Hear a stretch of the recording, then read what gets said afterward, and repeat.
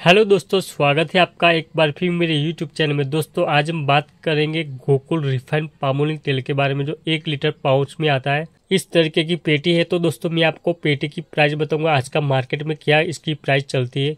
Gokul gold brand का refined palmolein तेल है, जो मैं आपको खोलकर दिखाऊँगा, किस तरीके का पाउच आता है।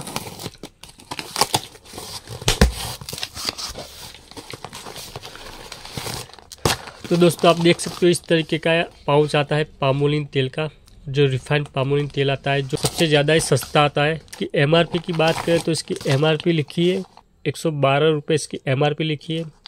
इसकी जो बेस्ट बिफोर डेट है वो सात छः दो हज़ार चौबीस से लेकर छः छः दो हज़ार पच्चीस तक ये ख़राब नहीं होती।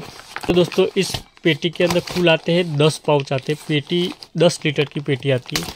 और ऐसे इसके अंदर पाउच आते हैं वो दस पाउच आते हैं। यानी कुल मिला के दस लीटर की पेटी आती तो दोस्तों, इसकी होलसेल प्राइस की अगर बात करें तो आज के मार्केट से अगर हम ख़रीदते हैं, ये गोकुल ब्रांड का रिफाइंड पामोलिन तेल तो आज के टाइम पर ये मिलता है आठ सौ चालीस रुपये में मिलता है पूरी पेटी। यानी कि एक लीटर एक लीटर का जो पाउच हमें पड़ता है वो चौरासी रुपये लीटर पाउच पड़ता है।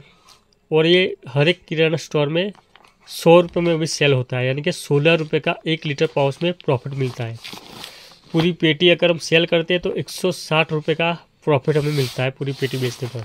तो दोस्तों, इस तरीके की गोकुल ब्रांड की रिफाइंड पाम तेल का प्राइस है दोस्तों। आज के मार्केट में ये इस प्राइस से मिलता है। और वैसे अलग अलग ब्रांड का मिलता है, Gokul brand, Raag gold brand, Ruchi gold सभी अलग अलग कंपनी का मिलता है अलग अलग प्राइस से मिलता है, लेकिन ये गोकुल का सबसे ज़्यादा सस्ता आता है। तो दोस्तों, आज के लिए बस इतना ही। दोस्तों, अगर आप ये वीडियो में अच्छी जानकारी मिली है, वीडियो अच्छा लगा है तो लाइक करें, शेयर करें, चैनल को सब्सक्राइब करें। मिलते हैं अगले वीडियो में।